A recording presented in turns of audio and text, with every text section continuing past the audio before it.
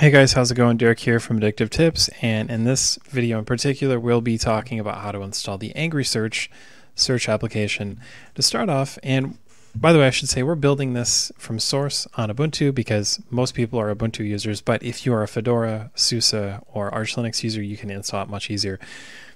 And that's covered in the link below, but if you're an Ubuntu or Debian or Ubuntu slash Debian based distribution user, you're going to need to install it this way. And to start off, you're going to need to install these particular dependencies and uh, just go ahead and install those and let them go.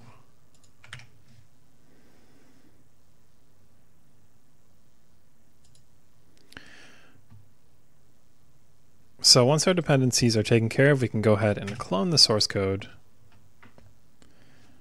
and uh, go into the ANGRYsearch directory and then just do sudo install sh. And ANGRYsearch is right here.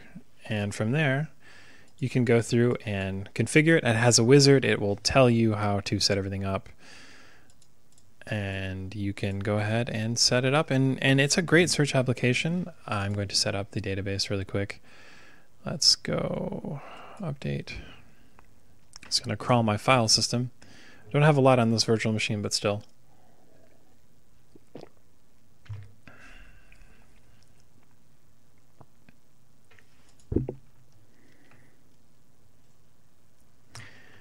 And now we can just search for a file. So let's search for a Debian package. Let's go deb or hold on,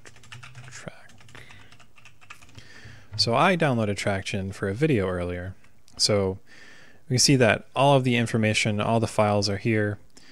We can also see the installer, the deb package that I was trying to find is right here. And I can click open directly and that will open up the file right in Ubuntu Software Center, which is actually pretty awesome.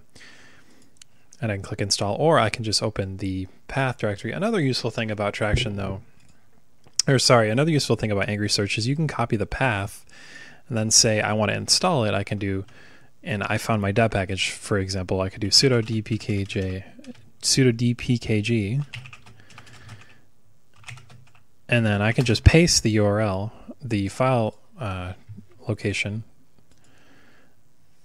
and I have it right there and it knows exactly where it is, and then I can just enter it and get going. And it's very fast, it searches everything.